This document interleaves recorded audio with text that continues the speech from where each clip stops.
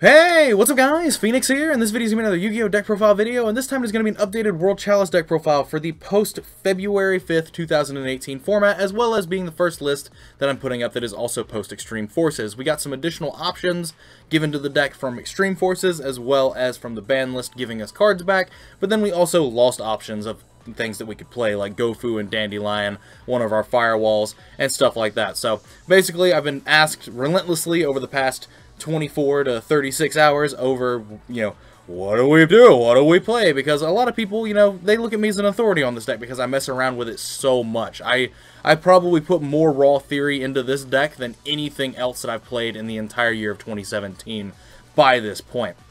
But basically, this is a skeleton list that I've come up with. Uh, I tested a bunch of things out in the last day. Uh, I know there's things that I don't like. I still don't like the EVA package. It bricks too heavily with the cards that we currently have. Uh, I don't like the recover engine. I tested that to try and make Naturia Beast because I expect Pendulum Magicians to still be a top two, if not best deck going into the format uh, because Pendulums are still very powerful. Uh, there's a lot of different things that I tested, but basically it all culminated down to a really streamlined list that tries to do the best things it can the best ways it possibly can as effectively as possible and so that's what I'm going to show you in this video. This is basically a list that I'm going to be starting to build off of and try to test more and maybe have some cards swap in and out for different placeholders uh, but other than that like this list is pretty much like as streamlined as I can make a list for the new format uh, that operated on a most consistent basis. So anyway, list is 40 cards. It starts with 3 Lee, the World Chalice Fairy. If you're playing any less than 3 of this then we have some uh, priorities that you need to discuss with yourself.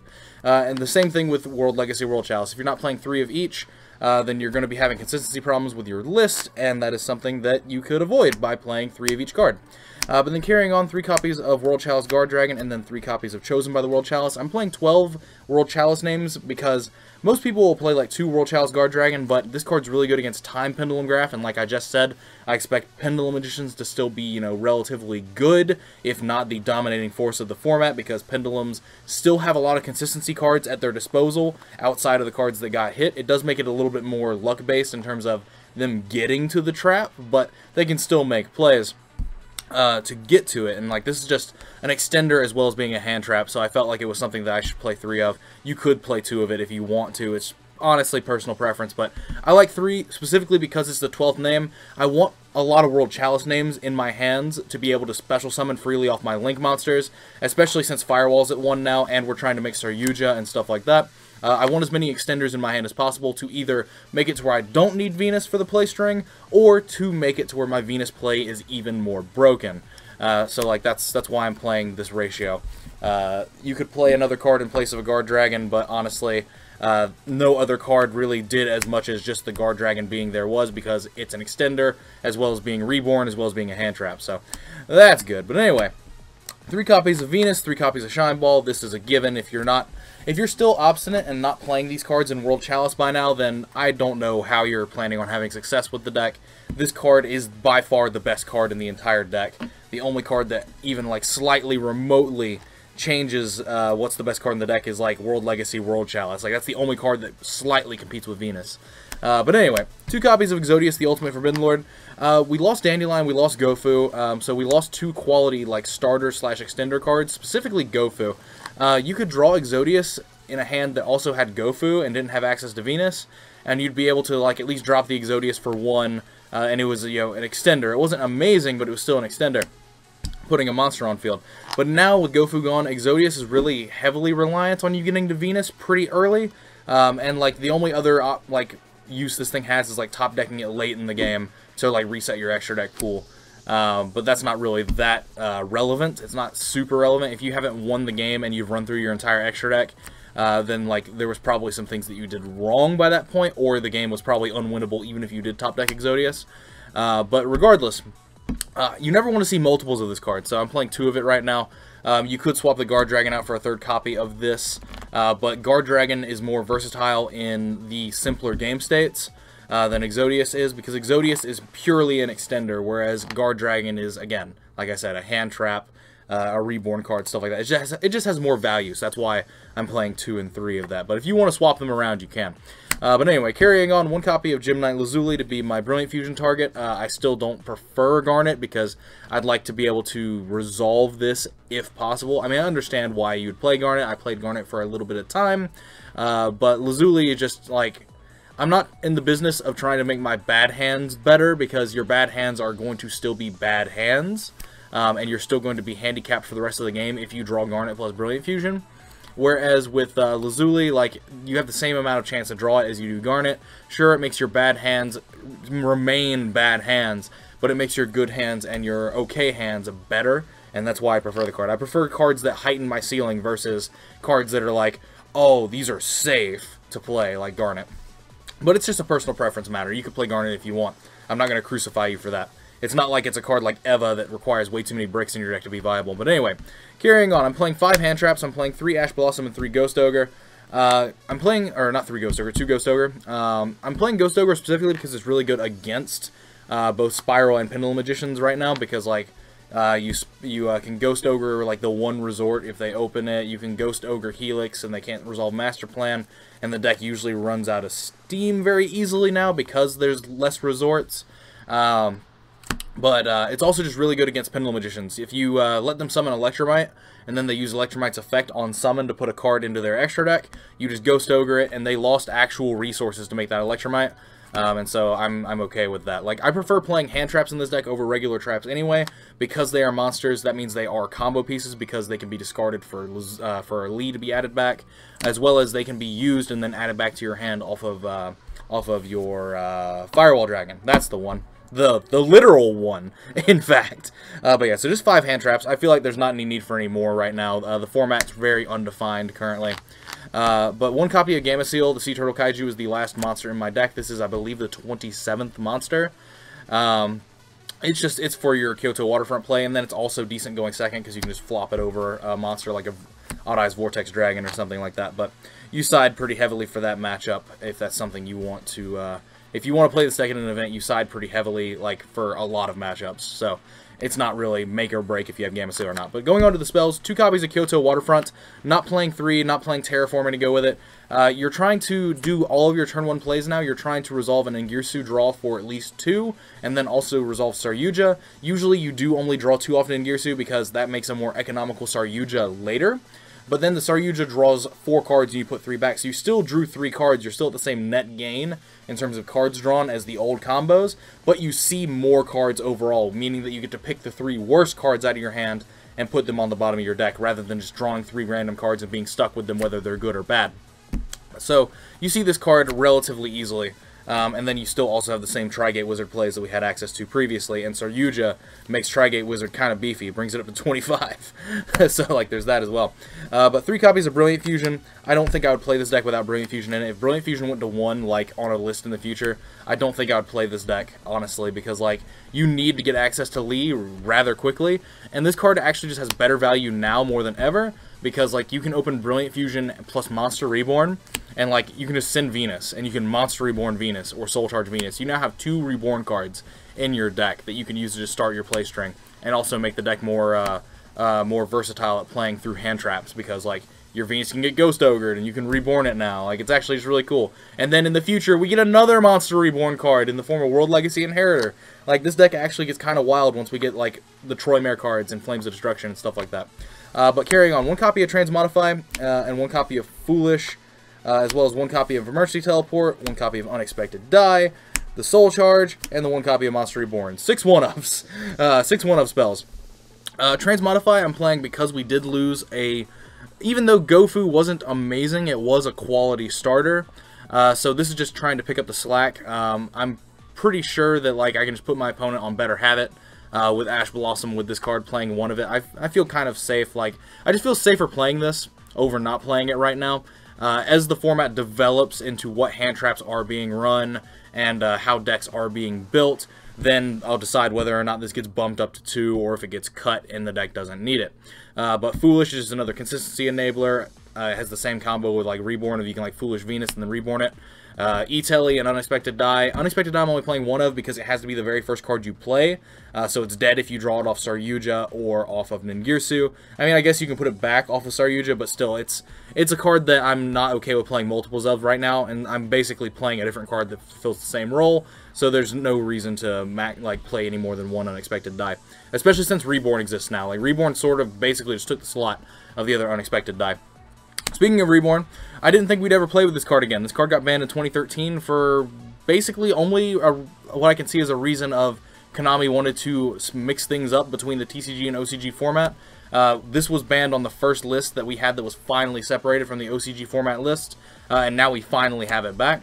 Uh, so, it's interesting. Uh, this card does a lot, specifically in Link format, because of the fact that you can bring your stuff back to any zone. Uh, so you can just do plays like make your one Firewall Dragon and make it co-linked to two or three cards, add two to three monsters back to your hand, and then link away with it, and then reborn it back over into the zone where you want it. Uh, so it's actually really cool. It's a really cool extender. Uh, the days of like monster reborning a monster back from either player's graveyard and swinging for game with it are practically over. That's why I think this card came back. Uh, like that that sort of degeneracy, like was something that happened in simpler Yu-Gi-Oh! where you could just top deck a win condition.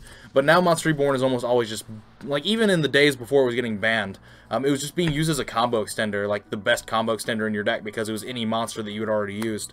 Uh, so I think the card is fine and is going to promote a lot of cool combos being uh, spawned into the future and a lot of weird deck choices being played around it, specifically because it exists. Uh, but then the last two cards in the deck are two copies of the Phantom Knights of uh, Shade Brigandine, I'm playing two of this because you do necessarily really want to see it, and you want to see it at any time during your turn. Uh, off your Ningirsu draw, if you draw this, set it, activate it. Free normal monster, easy. Uh, if you draw it off Saryuja, set it, activate it. Free normal monster, easy. Free Imduk. Um, but it's okay to draw uh, doubles of these because we have Saryuja now. Uh, you can put you can put one back on the bottom of your deck with Saryuja, or it doesn't even really matter if you did like just hard draw two, or if you drew into two and had to keep both of them for some reason because you can set one and activate it the turn that you set it, and then you can just set the other one and then flip it next turn to be an extender uh, if you're playing one of those slower, grindy games, or if you're just you know wanting something for a game shot, or if you just want to make an Imduk randomly uh, to make your turn structure better turn two.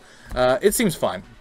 But this card is vastly superior to Unexpected Dai uh, in the areas of when you can activate it and when you can draw it and like in terms of how it helps you combo. The only downside is, is that it doesn't actually put a vanilla in your grave, so you can't be like...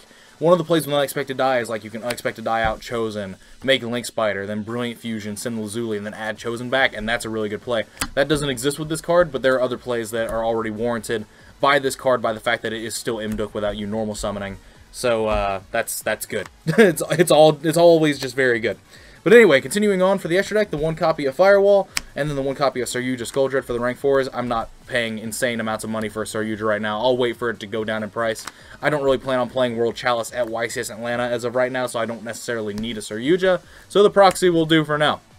Uh, but basically, Saryuja um, it's very weird. It's a very weird card to make because it requires a lot of resources to make, and you want to make it with only four monsters. I know you may be thinking, what do you mean only four monsters? I mean, you don't want to be making this with like a Link 2 and then three other monsters, because then you made this with five monsters. Um, it's very weird. It, it introduces some weird play strings and combo sequences into the deck in terms of how you get max value out of this. Um, and like it, it changes around a lot of like the numbers as well because of you drawing four and putting the three worst cards in your deck back on bottom of your deck. Uh, but mainly the main combos you do with this deck now are very conservative Ningirsu combos to like draw two by having a Link Spider and having Ningirsu and then two World Chalices next to it.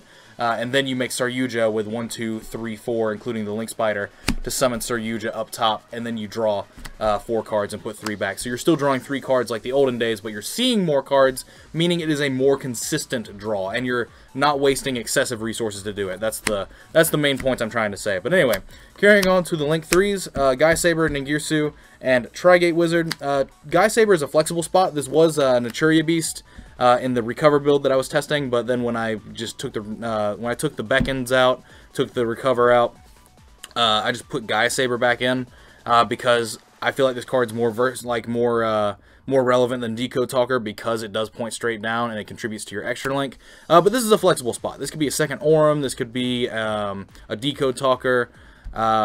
it could be a few different things. It could be another Link 2, which is probably going to be when we get Troy Mares. Uh, the one thing I wouldn't make it is a Borreload. This deck almost never makes Borreload because you're not trying to out your opponent's monsters in the battle phase. Like, when your deck is actually playing its turn structures out, you're outing two cards a turn with Ningirsu, and then outing a card with Trigate Wizard, and then you can out one to two or three more cards with Firewall Dragon. Like, you out enough cards before you enter the battle phase. it's not that big of an issue. Uh, but then one copy of Auram for Link 2s, uh, alongside two copies of Ib and one copy of Proxy Dragon. Uh, just pretty standard. Uh, the Troymare cards mess around with these ratios, but we don't have those yet, so not even going to even think about what the ratios would be. Uh, two copies of Link Spider. This actually does come up a lot more now than it used to. Uh, you could just get away with playing one Link Spider in the past, but now, specifically with Saryuja, you end up making Link Spider and then using Link Spider with like three other materials um, to make your Saryuja, whether it's at the start of your play string or after you've made Ningirsu.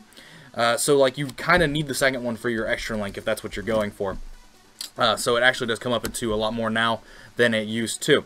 But other than that, three copies of Imduk as per usual. Like every combo requires you to make two to three of these. Uh, so it's just it's an easy card to make. It's an easy extender. Turns your shine balls into World Chalice names. Uh, no reason not to max out on it until we get better extra deck options. And then the one Gem Knight Seraphinite to be playing with the Brilliant Fusion. So that's the entire deck right now. It's a, it's as streamlined as I could get it. I was trying to play other things. I did test Eva uh, with like Saryuja and all that stuff just because like I was testing new format options. Didn't like it. Again, Herald of the Orange Light is pretty terrible in terms of hand traps go. Uh, and like we don't have the cards to even remotely start making that card good yet, like Summon Sorceress uh, or Crystron Needle Fiber. And even then, the card is still wishy-washy in terms of how good it is, but I'm not going to go into detail on that here. I may have an entire video dedicated to that subject because I kept getting asked about it. Uh, but otherwise, this list is very streamlined. Like I told you, like I said, I was playing like Beckons, I was testing Bagooska, I was testing uh, actual traps in the deck, like Triple Bottomless and uh, Judgment. Uh, I've been testing a lot of things in the last 24 hours, uh, but basically, this was the list that I was testing and gave me the best results because of how streamlined it is. It was the easiest to side with, it was the easiest to just open turn one, you know, combos and just do very well. It was the easiest to mold my plays into Saryuja, get into Kyoto Waterfront, do all that sort of stuff. It's just, it was the easiest thing for me to build and play, and it just, it had the best results. Like, this deck already has consistency issues, so trying to be fancy with other engines and stuff like that that introduce more bricks into the deck, ultimately, even though it may heighten your ceiling and some, introduce some weird play lines, it just ultimately wasn't worthwhile in the end, and just going with something that was tried and true and tested and being very streamlined about the operation was the best way to go about business. But anyway, that is the deck list. Give me your feedback in the comments down below. If you're interested in any questions, feel free to ask. I'll answer them to the best of my ability. Even though I may be a little bit harsh, it is not meant as a personal attack to you. Keep that in mind. I just have a very direct dialect in terms of how I type and how I speak. So I'm not trying to belittle you. I feel like I need to just say this now. But anyway, as always, guys, thanks for watching. Like I said, give me your comments and feedback in the comments down below. As always, like, comment, subscribe to all the nonsense you usually do. Check out the links in the description if you're interested in connecting with me through other platforms. But other than that, thanks for your time as usual, guys, and take care. I'll see you in the next video. But now the video's over, I'd like to give special thanks to my patrons, Iradium, Yuki Phoenix, Troy Perkins, Eric Gertson, Tour Guides Guy, and Ringleader, as well as everybody else supporting in the lower tiers. You guys help make what I'm doing here continue to be possible. You have my eternal gratitude as always, and you're forever awesome. Thank you so much for the support, you guys.